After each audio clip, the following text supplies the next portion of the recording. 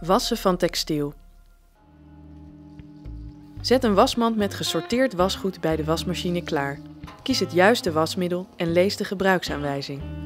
Stop de gesorteerde was in de wasmachine. Zorg dat de wasmachine niet te vol is. Kies het juiste wasprogramma en temperatuur.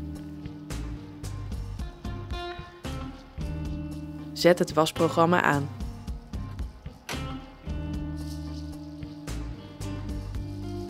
Was na afloop je handen.